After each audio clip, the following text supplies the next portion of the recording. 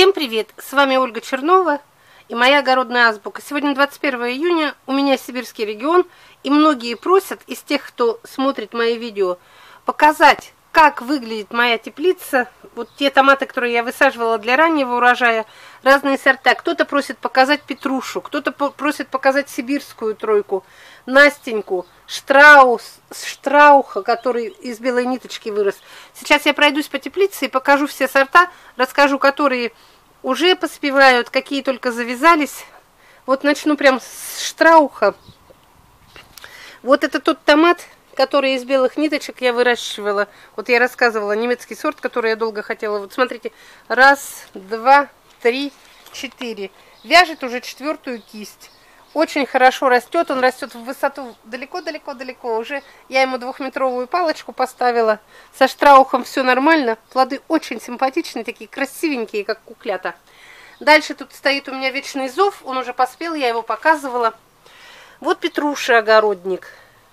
Петруша огородник, многие спрашивают, как его я в теплице выращиваю. Я потом подробно расскажу, но сразу говорю, что до первой кисти в теплице я все-таки удаляю у него пасынки для проветривания, чтобы болезнь не распространялась, не, не разводилась тут фитофтора.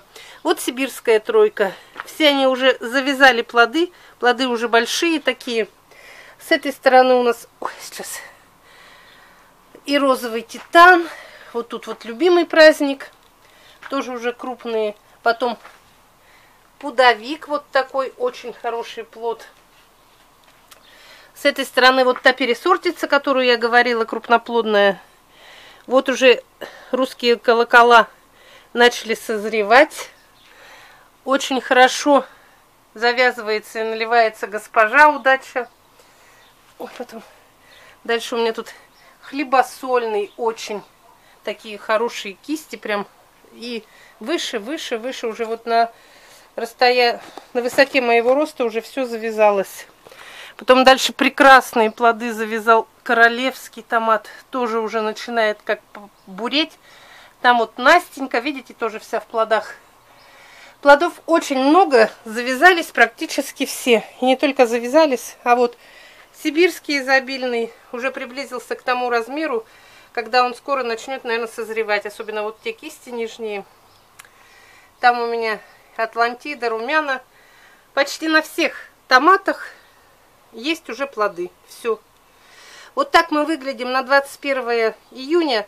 Кто добавился к нам недавно, смотрит не с самого начала, я сейчас чуть-чуть разгребусь, и я расскажу, как даже в холодных регионах, ну, конечно, имея теплицу, можно получить такой результат. То есть в июне уже можно кушать спелые плоды. Но это, естественно, при условии, что у вас есть возможность уделять время для ухода томатов. Пораньше посадите, рассаду, все. Но вот так вот мы выглядим на 21 июня. Так что в июне мы уже будем, наверное, кушать первые плоды. Хотя нынче год у нас был очень неудачный для выращивания томатов было очень долго холодно. И тот, кто смотрел за всеми моими видео, когда я их сюда высадила, тут вообще была ужасная погода на улице, холодно. Но все равно они, жизнь взяла свою, победила. Томаты спеют, наливаются, зреют. Зелени очень много зеленых вот завязей, завязи или завязей, не знаю, как правильно. Нынче будем с урожаем, как всегда. Все, до свидания.